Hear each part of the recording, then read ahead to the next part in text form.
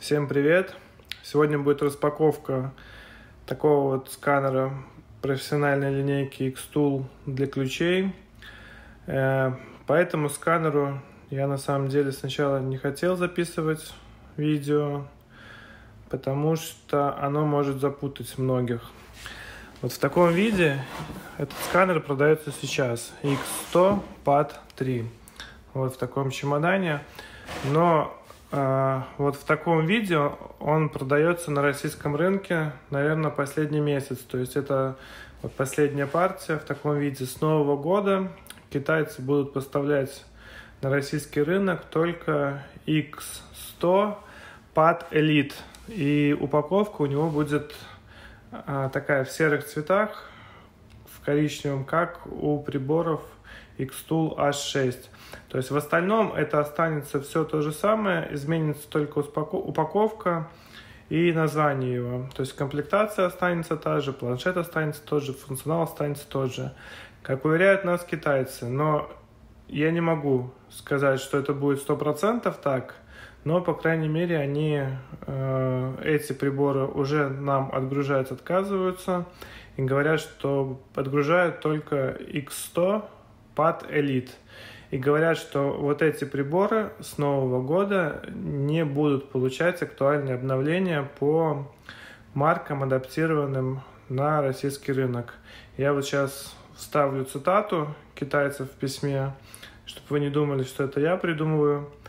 А, почему я так говорю? Потому что я не уверен, что это так будет. То есть они могут поменять свое решение, и кажется, что я там балаболом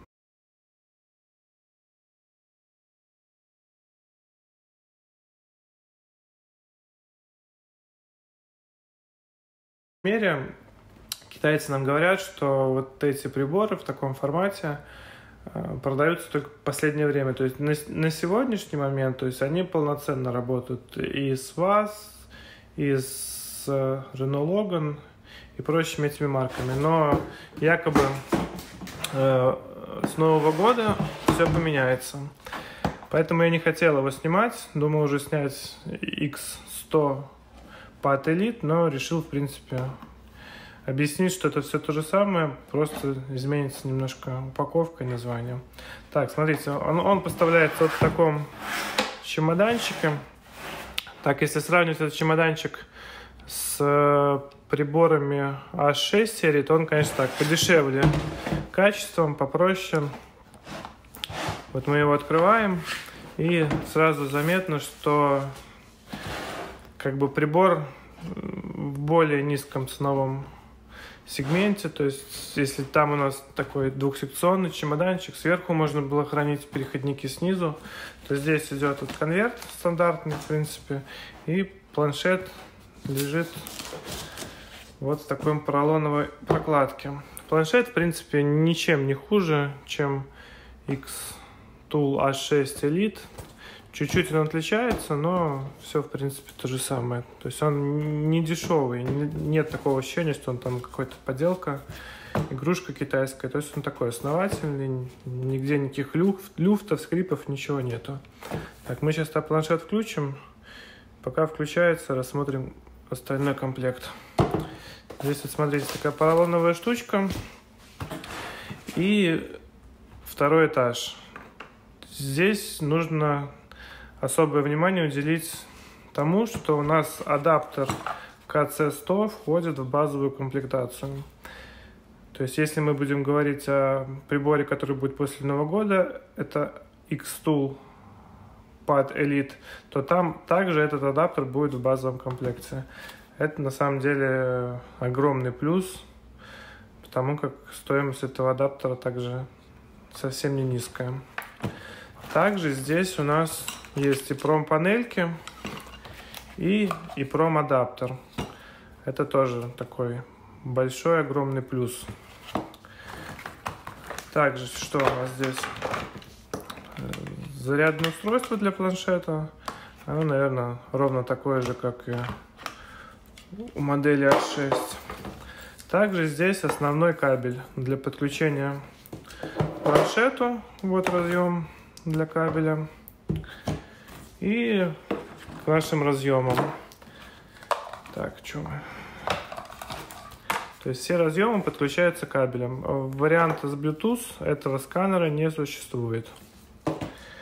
Здесь у нас стандартный OBD2 разъем 16-пиновый, а также несколько переходников. Kia, Kia Hyundai, потом Honda 3 пин и Mazda 17 пин. Как вы видите, комплект, конечно, значительно беднее в плане переходников. У А6 переходников значительно больше. Но здесь есть КЦ-100. Поэтому тут уже каждый сам решает. Также здесь кабель для подключения к планшета к компьютеру. Если вам нужно будет, например, закинуть какие-то дампы, либо файлы скинуть с планшета на компьютер. И проводок для подключения самого КЦ-100 к планшету. Теперь, что касается планшета. Планшет также имеет русский язык.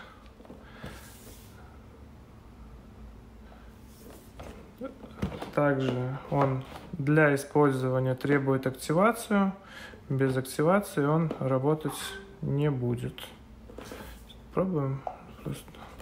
Так, вот. Само меню, структура Дизайн ровно такой же, как у приборов Xtool H6. Здесь это немножко отличается в том, что структура меню по-другому. Здесь на первом экране система иммобилайзера, потом одометр, вкладки, а потом уже общая диагностика. И здесь рынки. У вас шестых приборов немножко по-другому это организовано, но в целом все то же самое. Э, в принципе, на сегодня, наверное, все. Я еще запишу одно видео со сравнением этих трех приборов, то есть X-Tool, X100Pad, потом э, X-Tool A6 Elite и A6 Pro. И просто так посмотрим, чем они отличаются. В принципе, в плане функционала, в плане программирования ключей, одометров, производитель заверяет что все абсолютно то же самое, и разницы никакой нету. Поэтому в следующее видео посмотрим отличия у них, какие есть. А на этом всем пока.